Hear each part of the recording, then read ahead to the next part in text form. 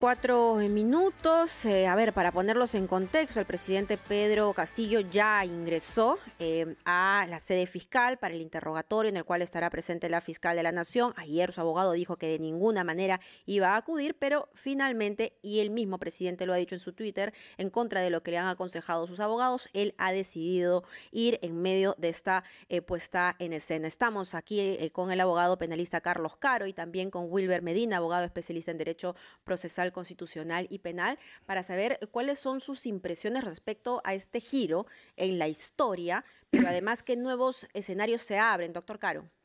Muchas gracias. Acá lo que tenemos, para decirlo en términos de fútbol, es un 1 a 0 ¿no? para la Fiscalía. La Fiscalía demostró su poder, que está del lado de la ley y a Castillo no le ha quedado otra opción que someterse al interrogatorio, ahora puede ingresar y guardar silencio desde luego. Pero yo quiero anotar un dato adicional, que es el siguiente, y es que yo creo que este resultado no se hubiera dado si es que la fiscal de la Nación el día de ayer no hubiera comunicado públicamente sus impresiones sobre los ataques que hay contra ella y hubiera hecho pública su resolución.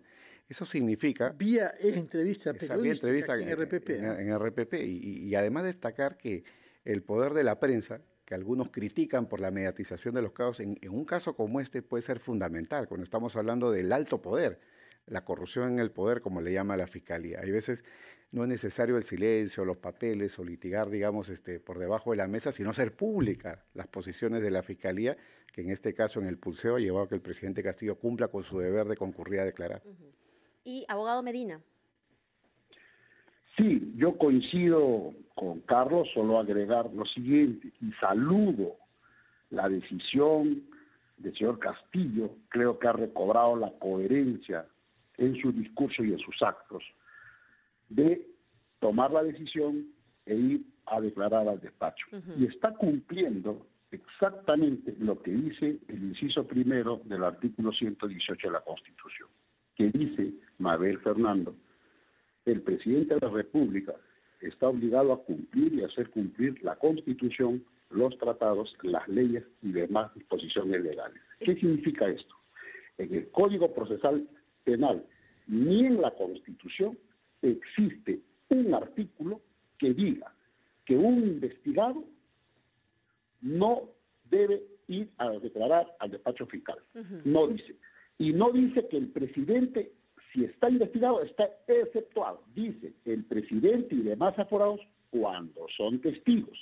No es la condición del señor Castillo. Y una cosa final, este cambio de actitud del señor Castillo y respecto que deja pues en offside a sus abogados, a mí me deja la impresión de que hay un pensador detrás de estos dos abogados, que ha llamado a la reflexión y les ha dicho... ¿Y quién podría, ¿y quién podría ser ese pensador, señor Medina, de acuerdo a su intuición? Claro, lo que ocurre, don Fernando, no creo que el señor Castillo esté en capacidad de decidir y tomar esta decisión coherente. Creo que acá hay uno detrás, un defensor legal que está detrás del ministro de Justicia, ministro de Justicia, renunciante primer ministro u otra personalidad que no conocemos. Que no conocemos que está detrás de los dos abogados. De acuerdo. Porque finalmente han retomado la coherencia. Muy bien. Señor Caro, quería preguntarle algo el hecho de que vaya a la fiscalía no significa todavía que quiera declarar, porque puede ejercer su derecho a guardar silencio. De manera que esto sería, vamos a ver, ¿no? Eso lo sabremos dentro de unos minutos. Pero en todo caso, la pregunta una vez más es, ¿cuál es la estrategia de Pedro Castillo? ¿Está ganando tiempo para qué? Porque hay quienes interpretan que lo que él quiere primero es saber qué es lo que ha dicho Bruno Pacheco y esperar que hable Juan Silva y no adelantarse él a decir cosas que pueden ser desmentidas después por sus estrechos colaboradores prófugos, eh, como sabemos. ¿Cuál es su opinión sobre este punto? Sí, claro. La Constitución establece el derecho del imputado de guardar silencio en un interrogatorio de forma total o parcial. Hoy día Castillo podría no declarar o responder las preguntas que él desea responder y algunas no responderlas por ese derecho.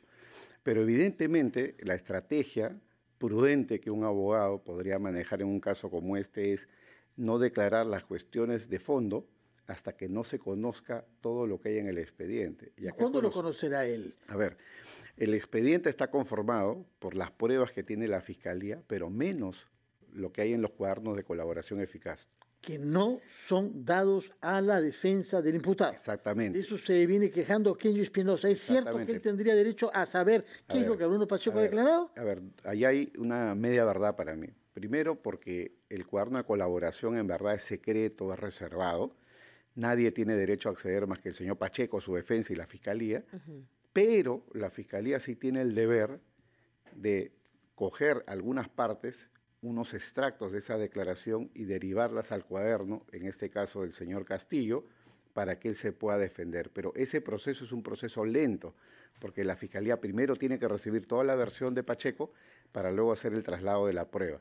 Ese es el momento en el cual la defensa va a poder conocer los detalles. Pero hoy día seguramente no los conoce y podría ser riesgoso que se aventura a responder cosas donde... Muchas gracias por su respuesta. Veremos en unos minutos con qué actitud ha ido el señor, eh, el señor Castillo a la Fiscalía. Comentarios finales, doctor Medina.